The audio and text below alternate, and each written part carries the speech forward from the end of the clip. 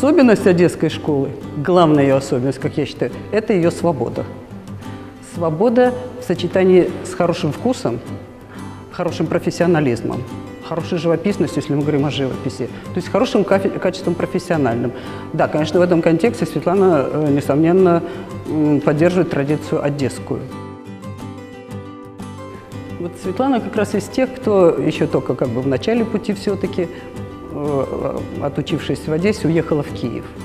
И из Киева она все время возвращается в Одессу. Вот ее энергетика, ее желание жить в этом городе, ну, благо Киев близок.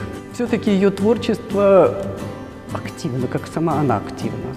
Вот как главное достоинство, как бы ее общем, в общем творчество можно как бы определить, я бы сказала. Она хороший композитор. Ведь умение ну, списать постановку какую-то, там, натюрморт, пейзаж увидать, списать – это одно. А другое дело сделать композицию. Вот за спиной э, композиция «Страна грез», портрет. Портрет может быть разный, похожий, не похожий. В данном случае сходство не так важно, как важна аура романтизма, которая присутствует.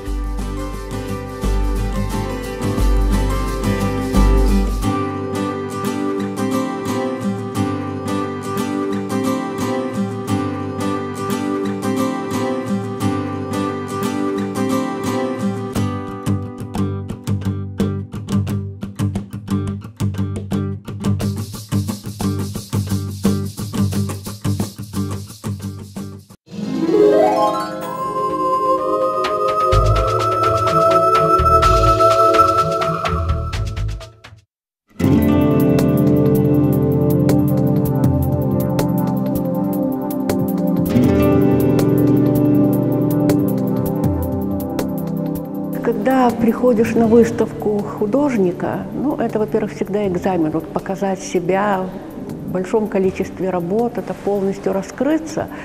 Ну, а когда знаешь этого художника, вот его путь становления очень интересно наблюдать, потому что я Светлану Беренюк знаю буквально еще с того времени, когда она была студенткой художественного училища, когда она просто набирала знания, как-то она готовилась вот, к будущей творческой жизни. И потом вот из года в год видишь процесс развития, процесс становления этой личности.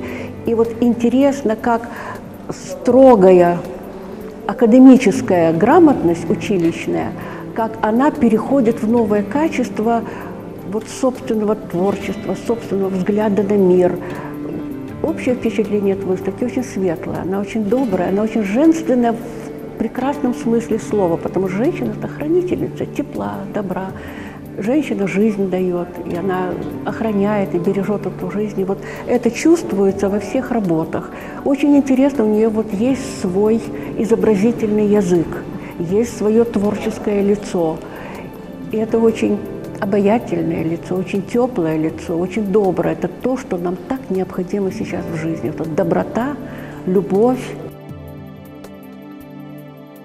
Мне еще этот толчок дали в училище. У нас был такой чудесный преподаватель на первом курсе Сергей Удовиченко. И он был график, э, потрясающий человек, и это была ну, уникальная личность. У нас очень много менялось преподавателей. И э, как бы нас э, кидали от одного преподавателя к другому. Валерий Евгеньевич у нас очень э, чудесно, что мы с ним познакомились, с Парфененко, потому что это, это был толчок тоже очень сильный, очень мощный. Э, хотя он очень тихий, спокойный человек, очень интеллигентный, но он смог достучаться, это, это было потрясающе. Это знакомство с ним, ну, до сих пор мы дружим, и до сих пор мы поддерживаем отношения. Вот. И, естественно, Егоровы у нас вели, они потом забрали нас в ежовые рукавицы. Нам нужны были ежовые рукавицы для студентов того времени. Вот. Но как бы я тогда работала в более реалистичной манере, классической, как все писали постановки. То есть там были какие-то поиски в графических работах, они, кстати, остались еще, сохранились. Может быть, когда-то я их покажу на большой выставке. Вот.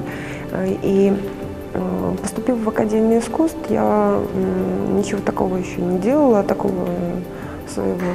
Но после первого курса э, произошло какое-то переломление, или это информационная масса э, большущая, обрушившаяся на меня в Киеве, э, эти походы по выставкам, тусовки, все это, оно, скорее всего, а может время пришло, никто же не знает, как оно, как судьба распоряжается.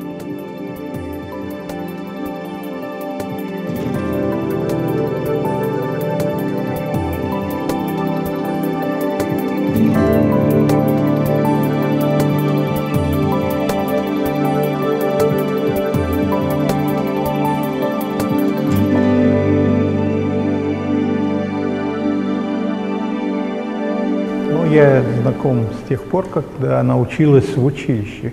Это где-то 87-й, вот 86-й годы. Я недолго тогда там преподавал в училище, я вел композицию. Вот с тех пор и знаком. Там было много художников училось, конечно. Кто-то стал художником, кто-то иконописцем, как Рудой, кто-то коллекционером, как Выродов. Она потом еще увлеклась и на несколько лет поступила на реставрационный факультет Киевской академии и серьезно очень занималась э, реставрацией картин, икон древнерусской живописи. Это человек очень разносторонний.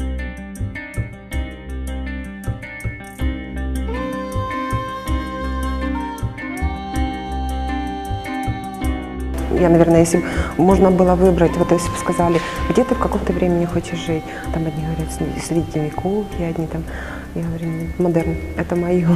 Это не то, что вот я нарочито хочу его показать, там есть специально стилизую работы под этот период, нет, этого нету. Я просто беру карандаш в руку, и кто-то меня начинает вести, это э, это уникальная вообще вещь. И вот как я даже у своих друзей иногда спрашивала, говорю, как ты делаешь эскизы к работам? Ну, я там сначала начинаю продумывать, рисовать, потом просчитывать, потом в цвете эскизы. Но нет у меня такого, я не могу.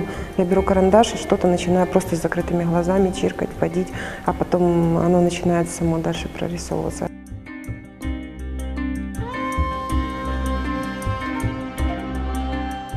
То, что сегодня здесь мы видим, это маленькая толика того, что есть. Это ее третья выставка в Одессе. Она была, одна выставка в музее была большая, мы с ней совместно выставлялись. Потом была выставка в клубе одесситов, там еще она выставлялась. Выставки были очень интересные. Она нашла вот такой свой путь, она держит в каждой работе колорит. Это то, что меня как художника интересует. Ее фантазии очень интересные – она там придумывает название, но меня интересует само решение, очень интересное ее решение таких мягкими тонами и, и другими решениями.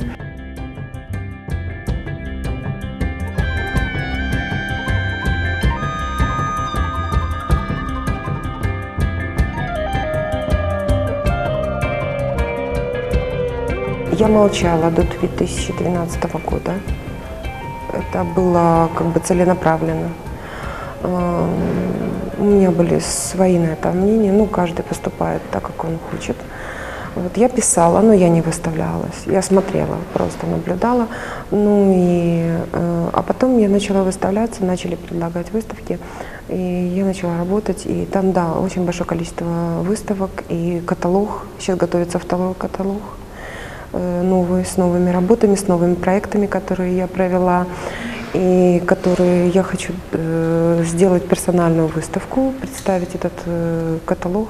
Это может будет, если получится, если будет все удачно, то в феврале, если нет, то позже.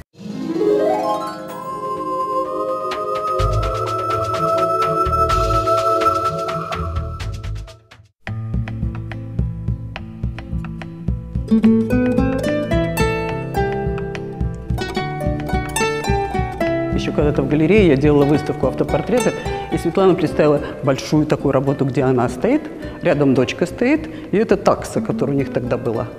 И теперь через время я посмотрела, что в то время э, Анне Кристине, дочке, не было столько лет, она не была такого роста, она была гораздо меньше. А Света так предчувствуя, что она будет, вот она себя изобразила рядом, дочку свою, которая теперь художница и собаку. Дочка занималась в художественной школе, сейчас она в академии. Она выбрала свой путь. Она э, занималась профессиональным балетом. Потом она в один прекрасный момент сказала мне, что мама, я этим балетом заниматься не буду, я буду рисовать. Ее никто туда не... Мы ее вообще не учили рисовать до 12 лет. Никто. Да, многие могут сказать, она пошла по твоим стопам. Это был ее выбор. Ее личный выбор. У меня нету такой э, цели, что там я должна быть превыше всего, Господи, да ради Бога. У меня муж художник, это притом прекрасный художник, и я рада, когда у него успехи, когда его куда-то приглашают, э, приглашают с выставкой или приглашают на пленер. И так же самое я рада за свою дочь. Э, мне достаточно того, что я их пишу, это мое, я могу высказать, и могу показать, могу это все представить, и, то есть это никогда у меня не было никакого чувства зависти.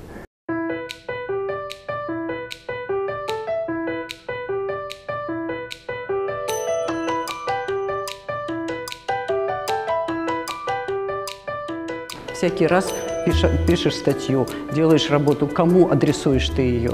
Делаешь выставку, кому ты ее адресуешь? Сегодня потребляющий, как говорят, этот э, мир очень мал.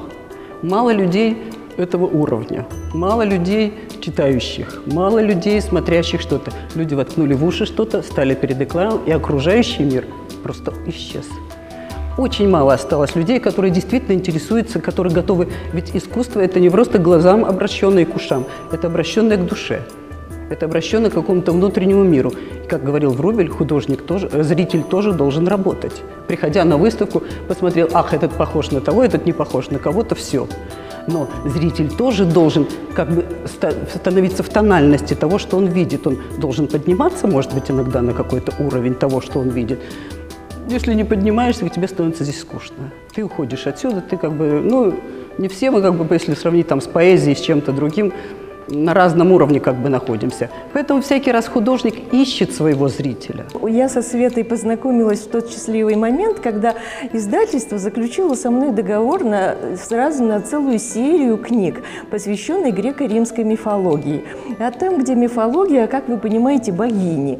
Ну, издательство ничего лучше не придумало, как на первую книгу поместить классических богинь на облаках. Э, и э, меня это не вполне удовлетворило. И тут в клубе одесситов проходит выставка Светы Бринюк. И я вижу своих богинь, которые действуют в моих книгах, воплоти. Вот это те необыкновенные то ли женщины, то ли бесы, то ли богини. А ведь это и есть вот то непознаваемое, что Бог заложил, ну, наверное, прежде всего в женщину и вообще в человека. И Света это умеет своим глазом художника увидеть. И ее ангелы, которые похожи на родившихся детей или, может быть, покинувших нас раньше срока. В, творчестве Светы весь трагизм и вся нежность нашей жизни. Вот это меня покорило, и я сказала строгим голосом в издательстве, следующей книги этой серии будет э, с иллюстрациями э, Светланы Бринюк.